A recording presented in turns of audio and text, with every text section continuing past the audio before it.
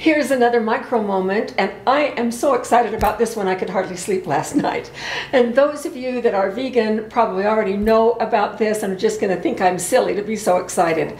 But for me, this is a new discovery, and I love it. And that is what you can do with the juice in a can of beans, especially chickpeas. And the juice that you drain out of this can, or that you can harvest from cooking your own chickpeas has amazing properties. And this liquid can replace eggs in just about everything you want to do. So it is called aquafaba. Aquafaba. Aqua meaning water, faba meaning beans, and then they flipped it so it's bean water, but the name says water beans. Now, the properties of this liquid were brought to um, the forefront about seven years ago by an engineer who was just experimenting around with everything and discovered what amazing properties this has. So let's talk for just a second about what eggs do when we cook and bake with them. First of all, eggs lend structure. It helps with the leavening, it adds richness and color and flavor. And then eggs also um, emulsify sauces. Think mayo, mayonnaise. Eggs are needed in there for their emulsifying properties when you add the oil. And then also they add moisture. Well, what does aquafaba do? Oh my goodness sake. Let me tell you how, first of all, it gets here. When we cook garbanzo beans, like in a can or when we do it ourselves, what happens with that cooking water is the starch, a lot of the solids from the beans pull out of the beans and get into the water. And that water can emulsify. It foams. It's a binder, just like eggs are a binder. It holds things together. It, it is uh, gelatinous. It is a thickener. And I was just blown over by this one. It whips up like egg whites. Is that just amazing? I'm going to show you that in just a minute. Now, unlike other egg replacers like flax or chia seeds, they don't whip and they don't bind. I've tried the flax egg replacement in a couple of recipes and either I'm not doing it right or something because I just, I don't like them at all. Now what you can do with this is you can use the, the juice just plain and you can use one tablespoon of this to replace an egg yolk, two to replace one egg white, and three to replace one whole egg.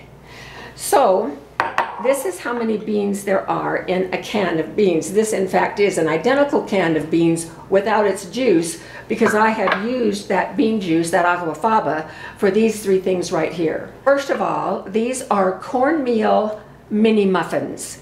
They have red sweet peppers, and I did add a little bit of our freeze-dried green chilies in here, and these are marvelous. No eggs. This took three tablespoons of aquafaba, the equivalent of one egg. This is mayonnaise, and it is eggless. It has aquafaba instead. I mixed this up this morning with my immersion blender,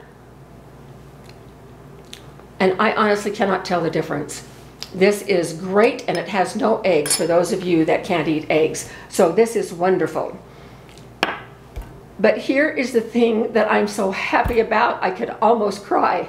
I have been working for eight months to develop a recipe for gluten-free bread. And two things came together this week. First of all, I discovered aquafaba and that it whips. And second of all, I finally, all of the research that I've been doing congealed in my head and I've come up with a pattern of ingredients that works for gluten-free bread. I had to kind of get used to the taste of gluten-free bread and most of the stuff that I made was just plain nasty and so I wouldn't bring it into a video. But I made this yesterday and I took a bite of it. We cut, I couldn't wait. We cut into it. I mean, check out the crumb on that. It's not bad at all. Um, it has yeast and it has baking powder in it. I'm going to do a whole video on this later. But I cut some I cut a piece yesterday, and Jim and I each took half of a piece. and ate half this piece. And let me tell you, it's good. It is really good. I could eat this bread. I could make a sandwich out of this bread with a little bit of this mayo and um, be just as happy as a clam. The texture is like bread. The taste is like bread. And I like it. It doesn't have the rise that a regular gluten loaf has. But I guess that's pretty common in gluten-free breads. But this is wonderful stuff. Now let me show you how it whips. This morning, well, last night I soaked a, a pound of these uh, chickpeas. This morning I cooked them in my pressure cooker. The beans themselves are now over in my dehydrator. I'm making fast beans with them, but I salvaged the liquid. Now when you do it yourself, you have to take the cooking liquid and cook it down by half. I started with about three cups and I ended up by the time I had boiled it down with about a cup and a half. And so I put about a half a cup over in my mixer and I've been whipping it for a few minutes.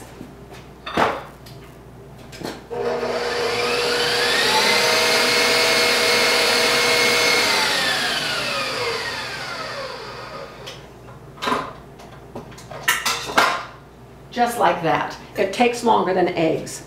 But look at this. Look. You can use it for meringue I used it in this bread to give the bread some lift. You can use it just as you would egg white made meringue. And the interesting thing is that with this, this aquafaba whip, I put it in a plastic container to, in the refrigerator to see if it would hold overnight, and it didn't. The air went out of it and it went back to the liquid. So I put the liquid back in the pan whipped it and it whipped up again. And I'm not sure that you could do that with eggs. So this is a fabulous egg replacement and we'll be doing things in the future with aquafaba in some of our recipes. Just think if we are in a grid down situation and you don't have any other access to eggs, you could cook up a batch of uh, chickpeas, provided you have the dried beans uh, um, on your food storage shelf, and then you can save the liquid, cook it down, and you can have egg replacements. So this is a marvelous addition to our food storage and our capabilities of having more versatility in what we eat. So thank you for joining us and we'll do more with this in future videos and we'll see you next time.